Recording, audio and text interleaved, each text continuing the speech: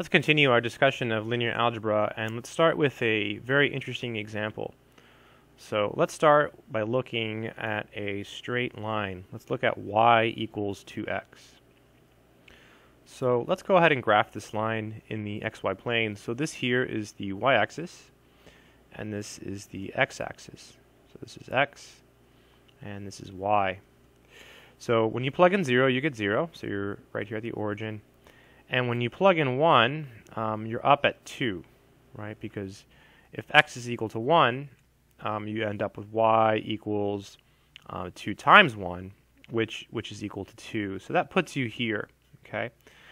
Uh, and then you just keep doing that and you get a bunch of dots, and so you get this beautiful line.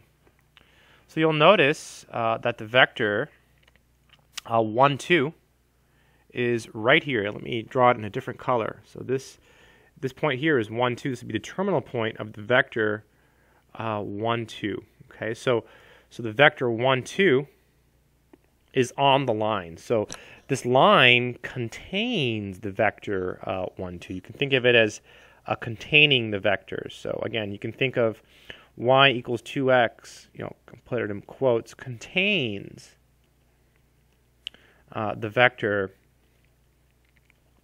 the vector 1, 2 right? So 1, 2. Uh, you'll notice, um, yeah, so contains the vector 1, 2.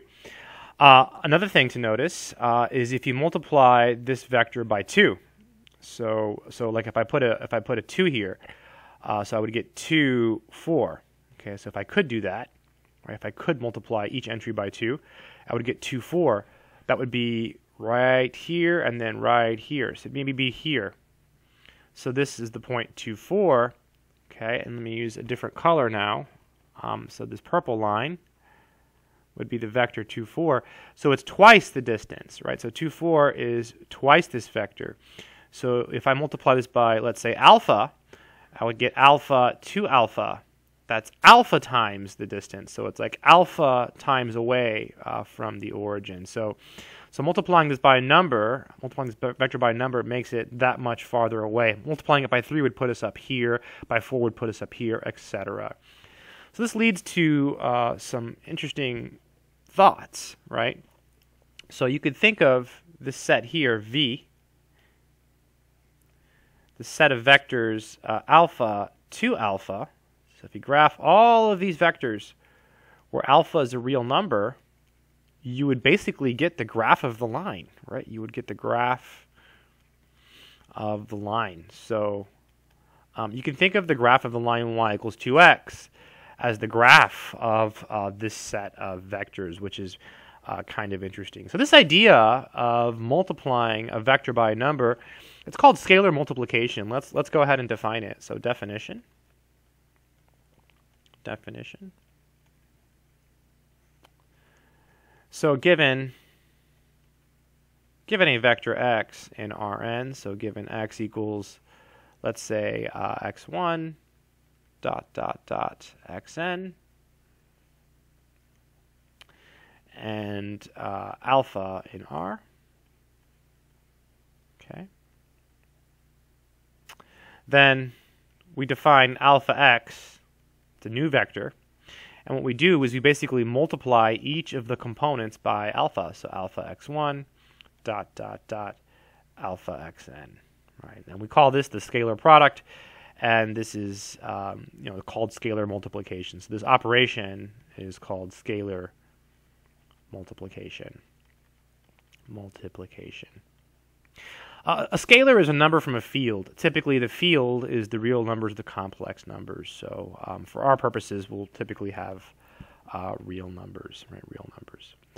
Um, there's a couple properties uh, for scalar multiplication. The first one uh, is closure.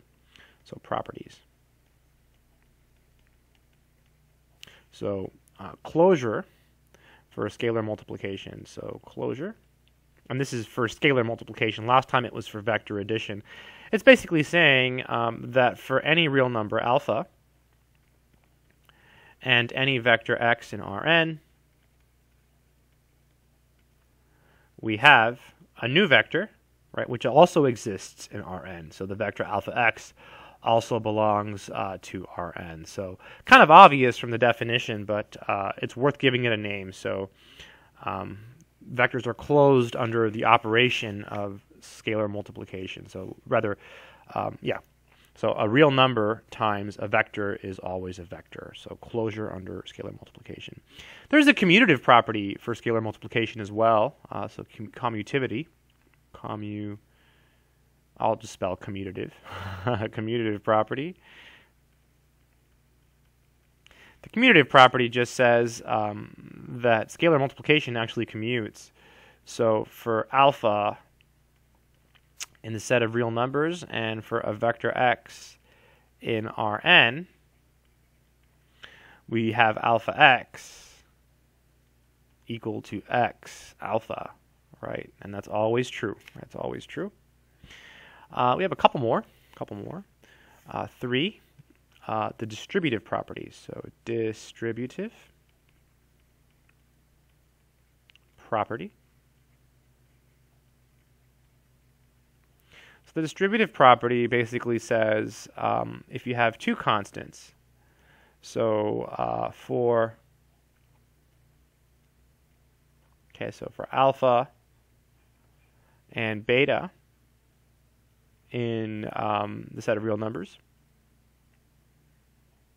Okay. And